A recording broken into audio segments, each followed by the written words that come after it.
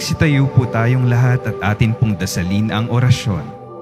Sa ngalan ng Ama at ng Anak at ng Espiritu Santo, Amen. nagbalita ang anghel ng Panginoon kay Santa Maria. At siya'y naglihila lang na Espiritu Santo. Aba, Ginoong Maria, napupuno ka ng grasya. Ang Panginoong Diyos ay sumasa iyo. Bukod kang pinagpala sa babaing lahat at pinagpala naman ang iyong anak na si Jesus. Santa Maria, Ina ng Diyos, ipanalangin mo kaming makasalanan, ngayon at kung kami mamamatay. Amen. Narito ang alipin ng Panginoon. Maganap nawa sa akin ayon sa wika mo. Aba, Ginoong Maria, napupuno ka ng grasya. Ang Panginoong Diyos ay sumasa iyo.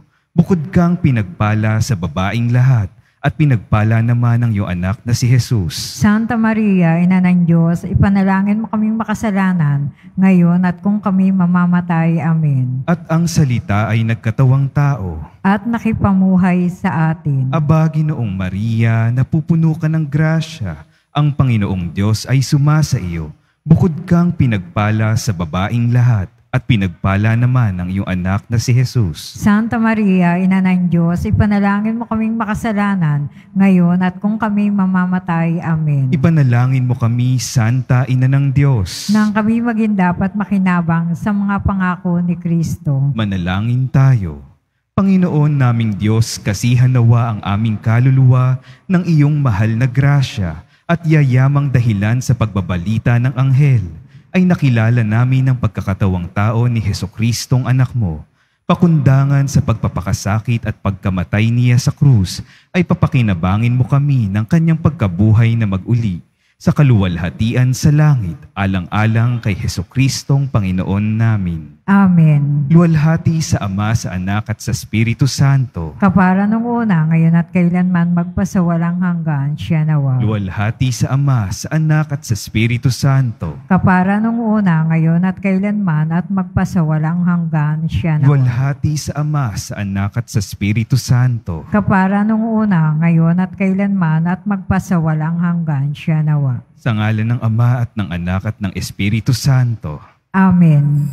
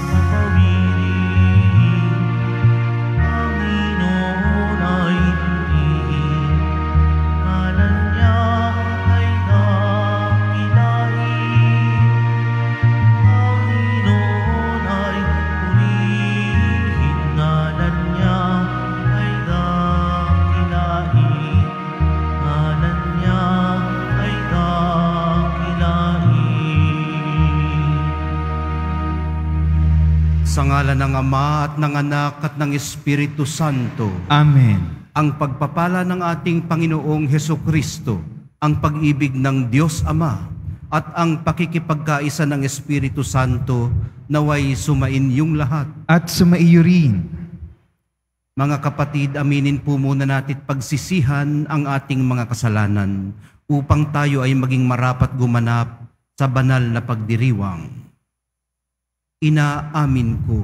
Sa makapangyarihang Diyos at sa inyo mga kapatid, nalubha akong nagkasala sa isip, sa salita at sa gawa, at sa aking pagkukulang, kaya isinasamo ko sa mahal na Birheng Maria, sa lahat ng mga anghel at mga banal, at sa inyo mga kapatid, na ako'y ipanalangin sa Panginoong ating Diyos. Kaawaan tayo ng makapangyarihang Diyos, patawarin sa ating mga kasalanan at patnubayan sa buhay na walang hanggan. Amen.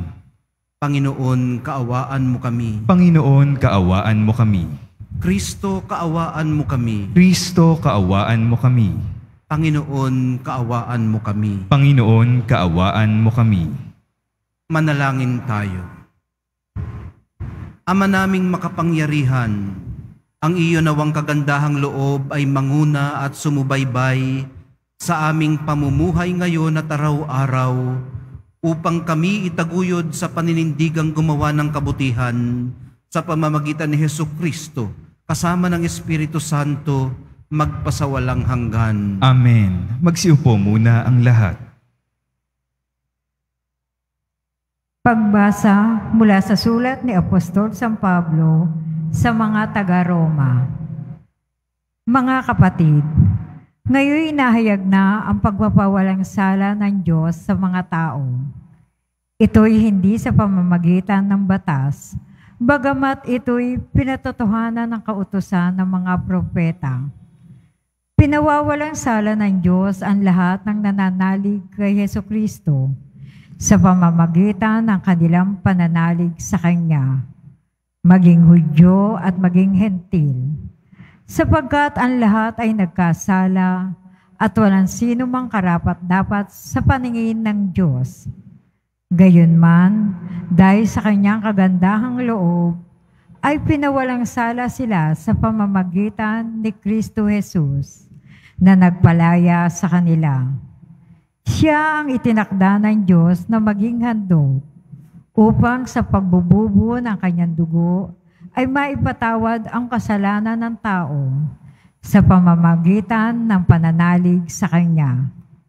Ginawa ito ng Diyos upang ipakilalang siya'y matuwid, sapagkat noong una, nagtimpi siya at ipinagpaumanhin ang mga kasalanang nagawa ng mga tao. At sa ngayon, pinawalang sala niya ang mga nananalig kay Jesus upang patunayang siya'y matuwid. Ano ngayon ang ating ipagmamalaki? Wala. Bakit? Dahil lamang ba sa hindi nating pagkatupad sa kautusan? Hindi, kundi dahil sa ating pananalig kay Kristo. Sapagkat maliwanag na ang tao'y pinawalang sala dahil sa pananalig kay Kristo at hindi sa pagtupad ng kautosan. Ang Diyos ba'y Diyos lamang ng mga Hudyo? Hindi ba Diyos din siya ng mga hentil?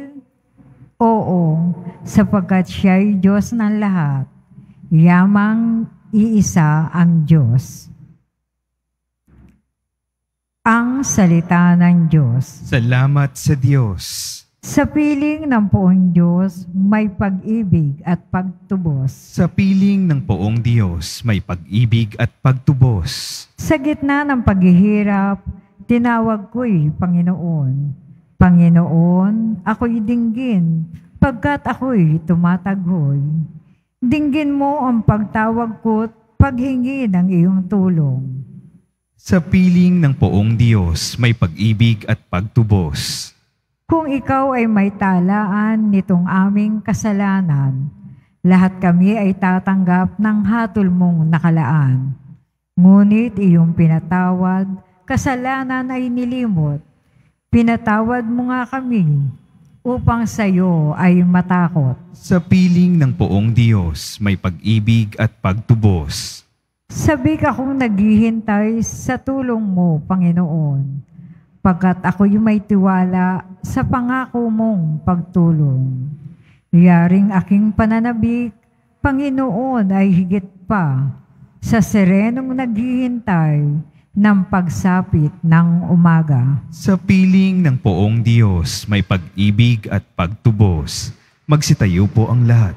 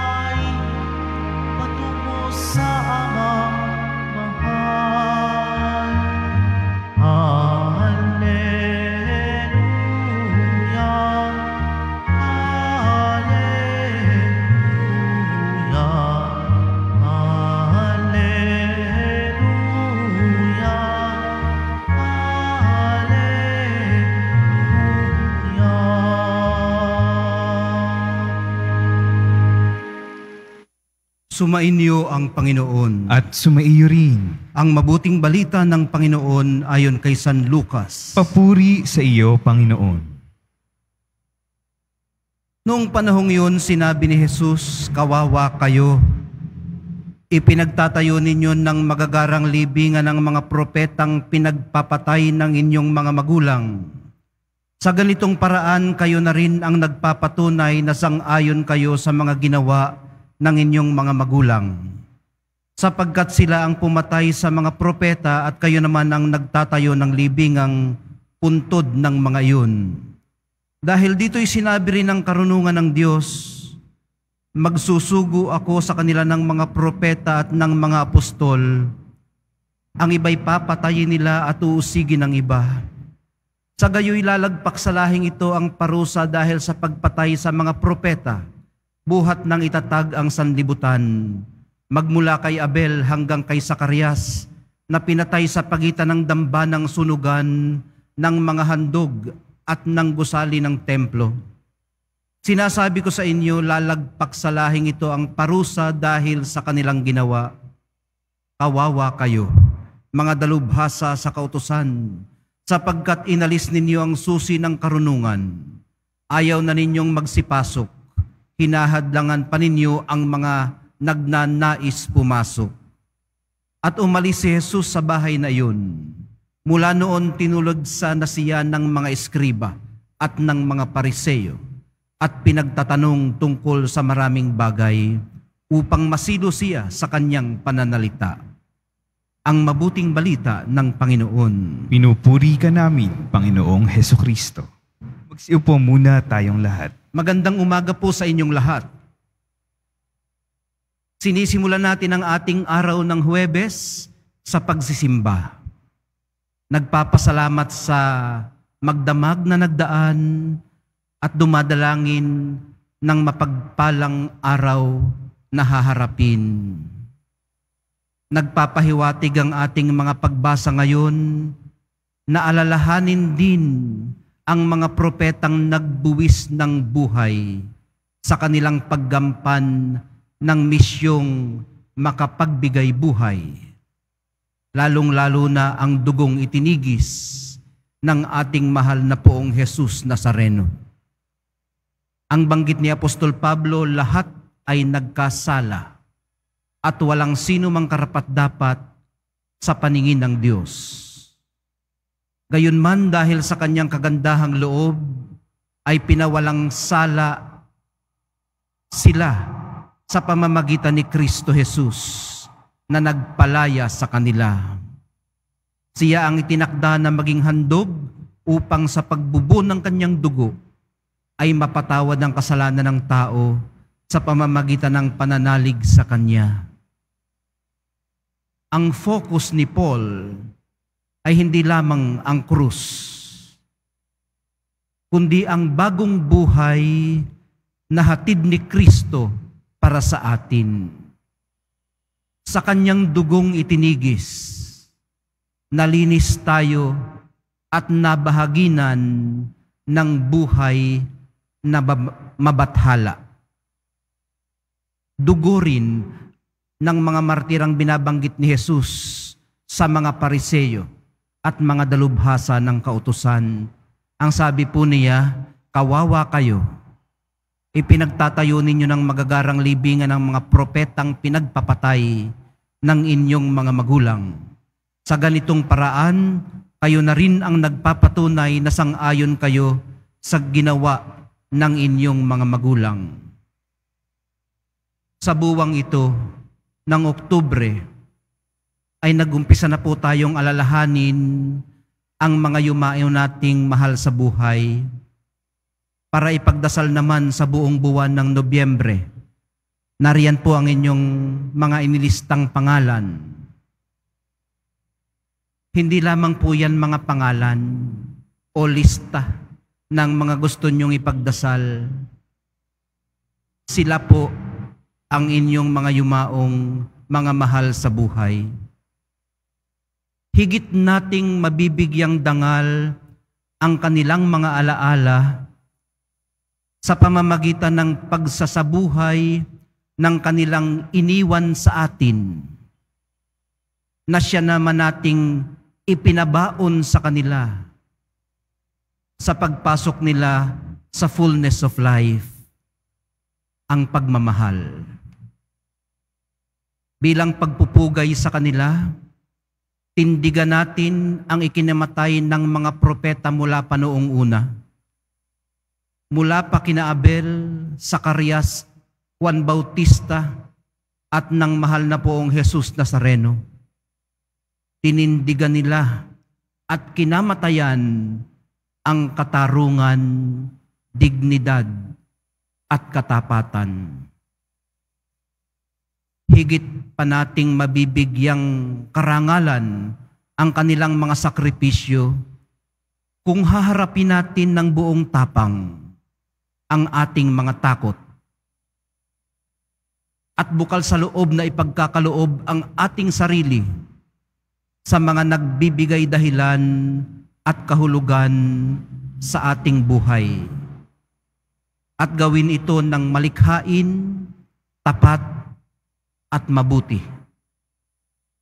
Mag-focus sa kung ano ang pinakaimportante at huwag bibitiw sa ating mga pangarap. Huwag matakot sa landasing nasa ating harapan. Mas matakot tayong hindi ito tahakin.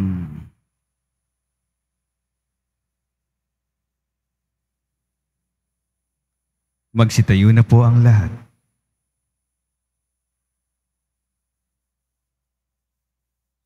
Minamahal kong mga kapatid, hilingin natin sa Panginoon na maging makatotohanan tayo sa ating mga gagawin. At sa bawat paghiling ang atin pong panalangin, Panginoon, gawin mong totoo ang aming puso sa iyo. Panginoon, gawin mong totoo ang aming puso sa iyo. Sa ating buhay, bilang bahagi ng bayan ng Diyos, naway magampanan natin ang mga hamon ng Ebanghelyo sa ating palagi ang pagsaksi. Manalangin tayo. Panginoon, gawin mong totoo ang aming puso sa iyo. Ating nawang maiwasang gawin ang mga bagay na nakikiayon o pagpapakitang tao lamang. Manalangin tayo. Panginoon, gawin mong totoo ang aming puso sa iyo. Yaong mga pinanghihinaan ng loob dahil sa ating hindi naging magandang ugali at pakikitungo, naway manumbalik sa pagsisimba sa pamagitan ng ating pagbabalik loob at pagbabagong buhay. Manalangin tayo. Panginoon, gawin mong totoo ang aming puso sa iyo. Ang mga may sakit, naway makita ang mapagpagaling na kamay ng Diyos sa dinaranas nilang mga pagsubok at paghihirap. Manalangin tayo. Panginoon, gawin mong totoo ang aming puso sa iyo. Ang mga yumauna sa buhay na ito, naway tanggapin sa walang hanggang kaluwalhatian. Manalangin tayo. Panginoon, gawin mong totoo ang aming puso sa iyo.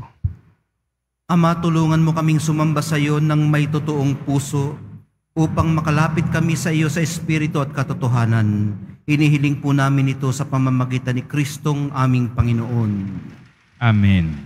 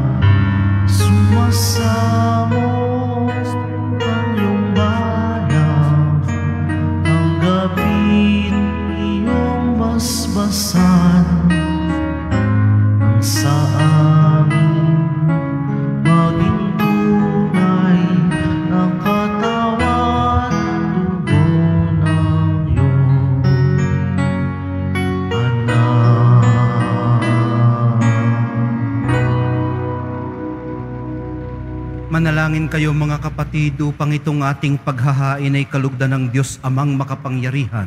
Tanggapin nawa ng Panginoon itong paghahain sa iyong mga kamay, sa kapurihan niya at karangalan, sa ating kapakinabangan at sa buong sambayanan niyang banal. Ama naming lumikha, tanggapin mo ang aming mga panalangin na sumasaliw sa aming paghahain upang sa ginaganap naming pagdiriwang kami nawa ay makatawid sa kalwalhatian sa pamamagitan ni Heso Kristo kasama ng Espiritu Santo magpasawalang hanggan. Amen. Sumainyo ang Panginoon. At sumaiyo rin, Itaas sa Diyos ang inyong puso at diwa. itinaas na namin sa Panginoon. Pasalamatan natin ang Panginoong ating Diyos. Marapat na siya ay pasalamatan. Ama naming makapangyarihan, tunay ngang marapat na ikaw ay aming pasalamatan. Pinagbibigyan mong ito'y aming maihayag, kahit na ito'y walang anumang maidaragdag, sa kadakilaang sa iyo ay likas. Sa pagpupuri nami ang nakikinabang ay kami ring iyong pinakikiharapan. Sa pamamagitan ng iyong anak na minamahal, kaya kaisa ng mga anghel na nagsisiawit ng papuri sa iyo, nang walang humpay sa kalangitan, kami nagbubunyi sa iyong kadakilaan. Santo, Santo, Santo, Panginoong Diyos ng mga hukbo, napupuno ang langit at lupa ng kadakilaan mo. O sana sa kaitaasan, pinagpapala ang naparirito sa ngalan ng Panginoon. O sana sa kaitaasan, magsiluhod po ang lahat. Ama naming banal, ikaw ang bukal ng lahat ng kabanalan, kaya't sa pamamagitan ng iyong Espiritu, gawin mong banal ang mga kaloob na ito, upang para sa amin maging katawan at dugo ng aming Panginoong Heso Kristo. Bago niya pinagtiis ang kusang loob na maging handog, hinawakan niya ang tinapay, pinasalamatan kaniya, pinaghati-hati niya iyon, iniabot sa kanyang mga alagad at sinabi, Tanggapin ninyong lahat ito at kanin. Ito ang aking katawan na ihahandog para sa inyo.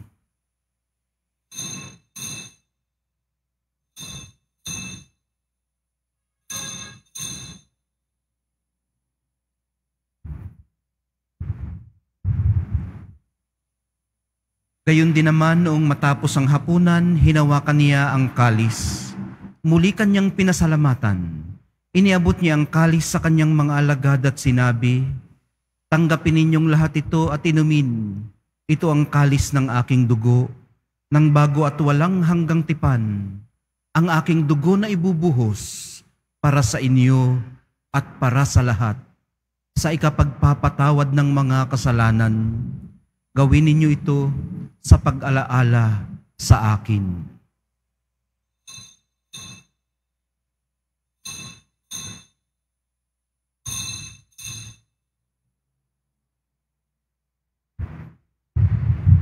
Magsitayo na po ang lahat. Ipagbunyi natin ang misteryo ng pananampalataya. Si Kristo'y namatay, si Kristo'y nabuhay, si Kristo'y babalik sa wakas ng panahon. Ama, ginagawa namin ngayon ang pag-alala sa pagkamatay at muling pagkabuhay ng iyong anak. Kaya't iniaalay namin sa iyo ang tinapay na nagbibigay buhay at ang kalis na nagkakaloob ng kaligtasan. Kami nagpapasalamat dahil kami iyong minarapat na tumayo sa harap mo para maglingkod sa iyo.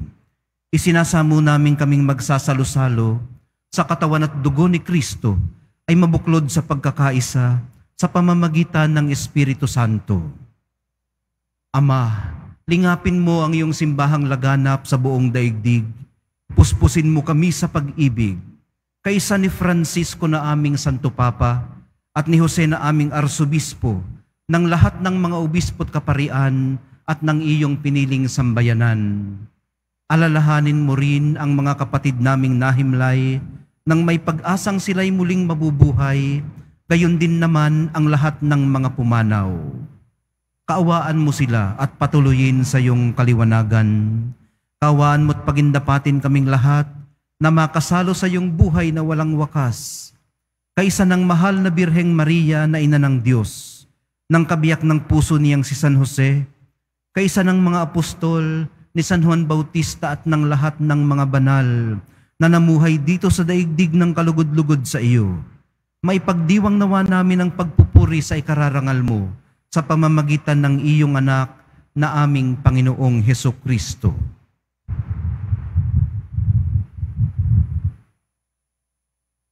Sa pamamagitan ni Kristo, kasama niya at sa Kanya, ang lahat ng parangal at papuri ay sa iyo, Diyos amang makapangyarihan, kasama ng Espiritu Santo, magpasawalang hanggan.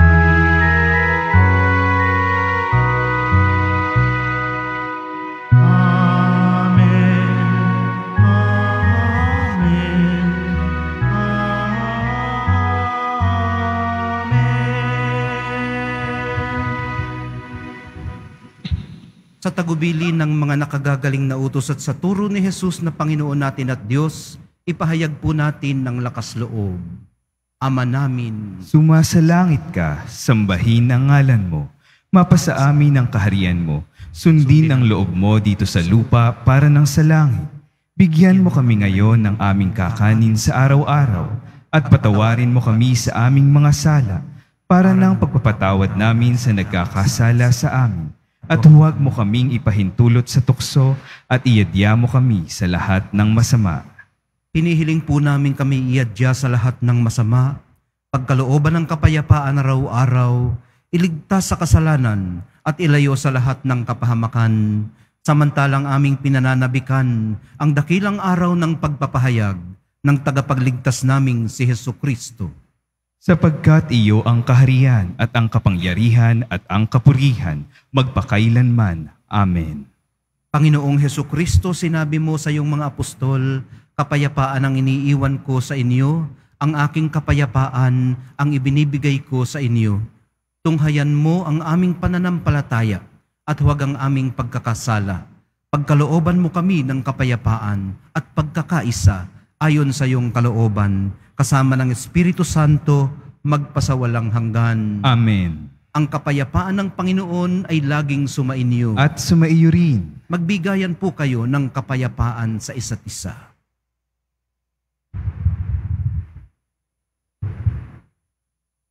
Kordero ng Diyos na nag-aalis ng mga kasalanan ng sanlibutan, maawa ka sa amin. Kordero ng Diyos na nag-aalis ng mga kasalanan ng sanlibutan, maawa ka sa amin. Kordero ng Diyos na nag-aalis ng mga kasalanan ng sanlibutan, ipagkaloob mo sa amin ang kapayapaan, magsiluhod po ang lahat.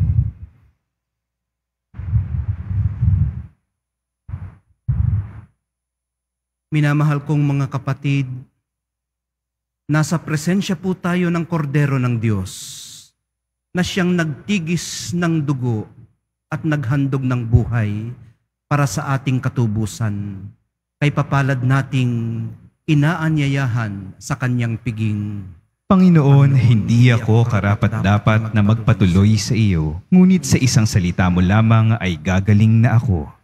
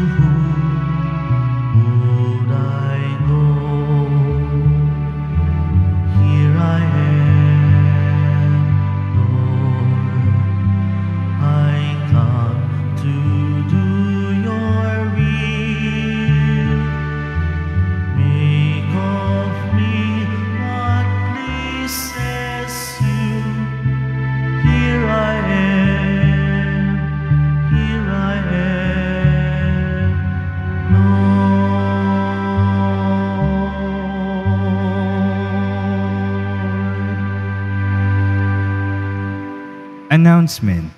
Available na po ang ating mga All Souls envelope. Sa mga na nagnanais, maaari kayong kumuha malapit sa mga pintuan ng ating simbahan o sa information guard. Isulat lamang po ang mga pangalan ng mga kamag-anak, kaibigan at mga kakilalang na mayapa o sumakabilang buhay na. At sa buong buwan ng Nobyembre, ito po ay ating isasama sa lahat ng mga misa na nagaganap sa ating simbahan. Mga paalaala sa mga nagsisimba. Pagkatapos ng misa, wiwisikan po ang lahat ng banal na tubig. Pinakikiusapan ng lahat na manatili lamang muna sa inyong mga lugar. Tanging sa Quezon Boulevard o sa Plaza San Juan lamang ang labasan ng lahat. Sumunod po tayo. Maraming salamat po sa inyong pagdalaw at pagsisimba sa Basilica Menor at Pambansang Dambana ni Jesus Nazareno. Manalangin tayo. Ama naming mapagmahal, ngayong kami iyong pinapakinabang sa katawat dugong banal, iniluluhog po namin sa dakila mong kabutihan sa lahat na kami gawin mong kasalo sa iyong buhay sa pamamagitan ni Heso Kristo kasama ng Espiritu Santo magpasawalang hanggan. Amen. Pinasasalamatan din po natin at kinikilala ang presensya ng mga elected and appointed officials ng Pandi, Bulacan. Nandito po silang lahat. Ah, naalala ko yung aking kuya ay nagtrabaho doon sa inyo sa Rural Bank of Pandi. Ayun, ano. Tapos nakapunta ko doon sa isang resort. Pag-aari yata ng mayor yung resort doon. Salamat po sa inyong presensya. Sumainyo ang Panginoon. At sumaiyo rin. Mahal na po ang Jesus Nazareno, inihayag mo sa pamamagitan ng krus ang walang maliw na pag-ibig ng Diyos sa sangkatauhan. Pakinggan mo ang kahilingan ng iyong angkan na nagsusumamo sa iyo. Makamtanawa nila ang inyong katugunan at tanggapin ang kasagutan na may utang na loob na tinatanaw. Basbasan din po ninyo ang mga da- pinasasalamatan nila, idinadalangin at pinagsusumikapan sa araw-araw, pati na ang daladala nilang mga imahin at dasalan. Sa pamamagitan ng bendisyon na ito, naway maalala nila ang mga pangako nila noon sa binyag, na ikaw ang kanilang iibigin at paglilingkuran bilang Panginoon magpasawalang hanggan. Amen. At pagpalain kayong lahat at ang inyong pamilya at mga komunidad ng makapangyarihan at mapagmahal na Diyos, ang Ama, Anak, at Espiritu Santo, Amen. naialay na po natin ang banal na misa, humayo kayong taglay ang pag-ibig, kapayapaan at pag-asa ng ating mahal na poong Jesus Nazareno. Salamat sa Diyos.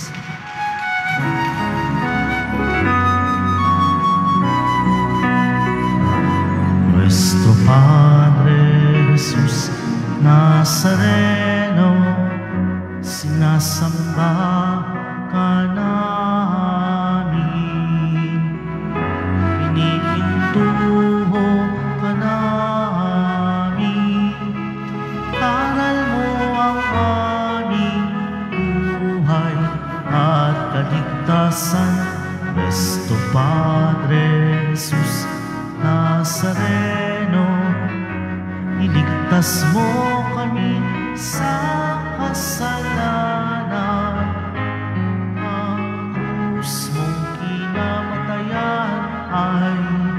sagisag ng aming kaligtasan. Nuestro